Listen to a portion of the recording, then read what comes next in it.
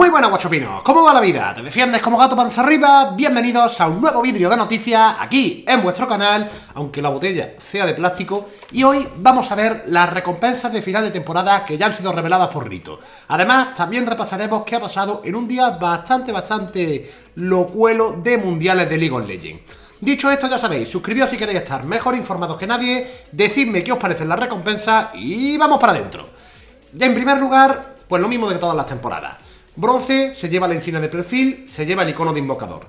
En plata comienza a haber cambio. La insignia, el icono de invocador, el borde de la pantalla de carga y además el War victorioso si somos plata en dos o más colas. Ya sabéis que las colas que hay pues son la de solo dúo de ranque, la de flex y la de ranques de 3 contra 3. Son importantes los 3 contra 3. Después, si tenemos oro o más, pues tendremos, además de todo esto, el aspecto de Grey Victorioso. Grey Victorioso va a venir con un croma específico por cola. Es decir, tendremos la skin base y tres cromas adicionales. Uno por cada una de las colas. Obviamente, si estás en oro o más, no tendría sentido que sea no. Es que tú ya como estás en platino o estás en diamante, no te damos la skin porque es solo para oro.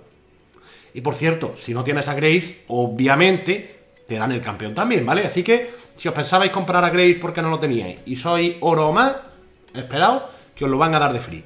Aquí tenemos este teaser, como ya lo estuvimos viendo ayer por el canalaco. Y después, la insignia del perfil. Ahora va a aparecer esta insignia en lo que es el bordecito, la barrita está del perfil para indicar nuestra liga, en lugar de aparecer pues alrededor del icono como aparecía antes. Alrededor del icono ya sabéis que va a aparecer un marco dependiendo de nuestro nivel, porque ahora, como ya os, estamos, os estuve informando, teníamos el nivel a partir del nivel 30, todavía seguía hasta el infinito y más allá. Los bordes, pues bueno, ya sabéis que uno para cada combinación de nivel y cola, si os metéis, por ejemplo, en cola solo dúo y después metéis en partidas normales, pues vais a ver el borde que habéis tenido en esa cola. Si por ejemplo soy ahí oro, pues vais a ver en esas partidas el borde de oro. Pero si no echasteis flex, pues en las partidas de flex no vais a tener borde, ¿vale? Va según ese rollo. En 3 contra 3 a lo mejor llegaste a diamante, pues vais a tener el borde de diamante, pero solo para las partidas de 3 contra 3, ¿vale? Así. El War victorioso, pues como os dije, este, este leoncito el War victorioso. Recuerda, si os fijáis bastante, al león que está en la hombrera de ese Grey victorioso.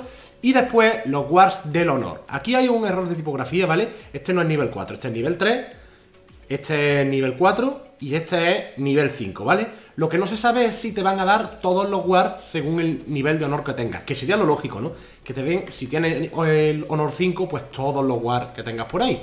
Esto pues para recompensar un poquito a la gente que se haya comportado de forma honorable y decir, oye, pues esta temporada fuiste una persona ahí de bien y de respeto. La temporada ya sabéis que acaba el día 8 de noviembre, ahí a las 12 de la noche y un minuto, a la, perdón, no, esta vez, mira, acaba a las 1 menos un minuto hora peninsular española. En cada uno de los servidores, ya sabéis, pues acaba a esa hora de los servidores. De todas formas, comprobad vuestras páginas de los servers para estar con la hora clavada, clavada, clavada. La temporada 2018 comienza en enero y las recompensas, pues ya sabéis, un mesecito. De todas formas, a veces le empiezan a dar antes de, en dos semanas o por ahí, ¿vale? Si en un mes no han aparecido, pues ya sabéis, las dais, le mandáis el ticket a. Después, más, ¿qué pasa con las recompensas? Pues si te han dado baneo, si has tenido baneo grande desde el 22 de agosto, si te han baneado por el obús, pues te quedas sin recompensa. Y sobre las recompensas físicas para los jugadores de Challenger, pues han dicho que este año sido un poquito caos, las chaquetitas no han gustado demasiado, así que van a repensarlo y ya dirán más adelante qué es lo que terminan por dar. Y bueno, ahora vamos a pasar con la sección de eSport. Ya sabéis, si queréis guardar la sorpresa, si no queréis hacer spoilers de lo que ha ocurrido hoy en el Mundial, estáis a tiempo de quitar el vídeo. Para los que queráis ver qué ha pasado, 3, 2, 1, vamos a verlo. Hemos tenido estos resultados hoy, se quedan así los grupos. El grupo A ya no se juegan más partidos hasta la semana que viene. Y mañana vamos a tener partidos del grupo B, C y D. Cabe notar aquí, Tiesen liderando el grupo D de forma inesperada. Lonzu, pues se ve normal que esté en el grupo B en la cabeza. Y Fanati va muy, muy, muy, muy pocho. ¿eh? Fanati necesita prácticamente un milagro para pasar de fase de grupo. Después, en el grupo A, pues bueno, poco sorprendente que esté SKT aquí, pero ¿qué le ha pasado a Wargaming, que era el equipo número uno de China? Vamos a ver.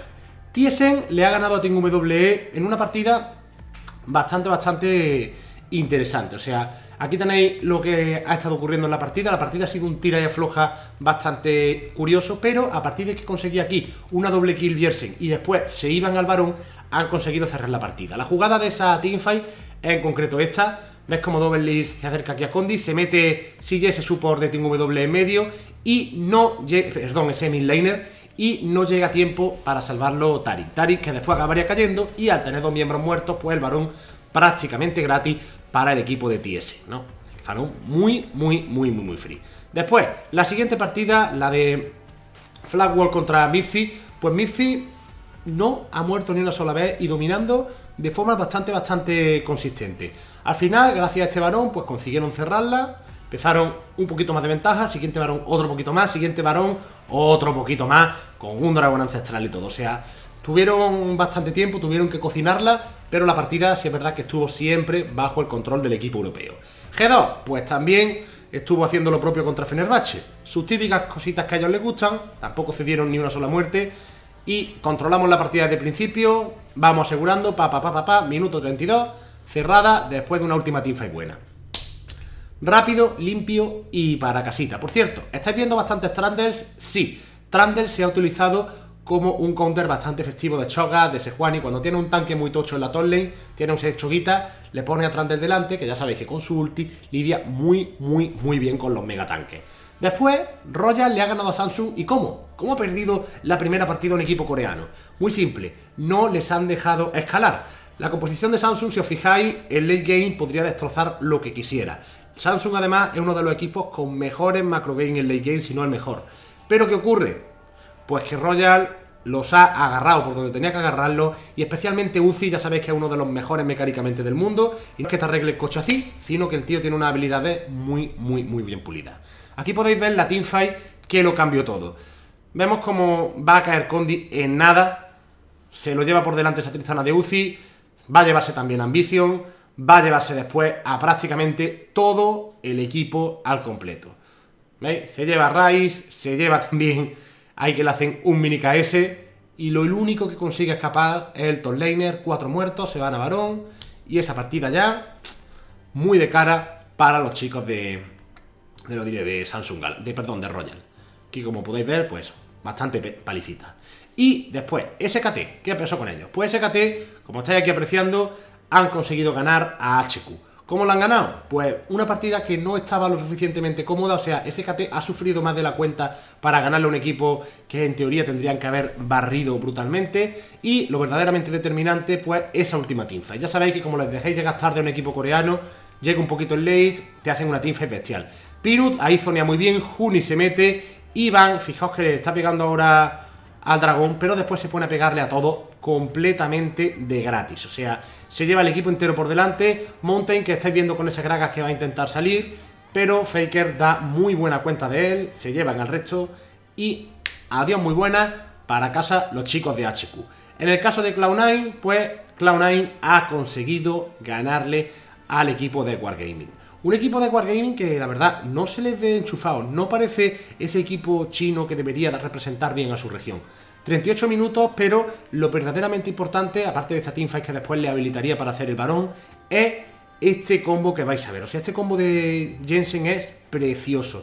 Fijaos cómo se mete el support, se mete ese Rakan y Jensen le tira la ulti de Sindra. Después de esa ulti de Sindra, ¿qué va a ocurrir? Aparte de reventarse a Meiko, va a tirar el stun en área lanza todas las bolas que ha conseguido con la ulti de Sindra Narco y Choga, Jarvan y Varus están stuneados. Con ese stun, pues han conseguido acabar con Jarvan antes de que Choga y Varus puedan reaccionar. Lucian solo apenas puede conseguir cosas y solo tienen que pasar la escoba y terminar la partida. De todas formas, esta partida, como os dije, estaba ya prácticamente finiquitada. Y bueno, por mi parte, nada más, espero que el vídeo os haya gustado, si ha sido así ya sabéis, dejad vuestro likecito, compartidlo con vuestros colegas y por mi parte, nada más. Nos vemos en el siguiente. ¡Adiós!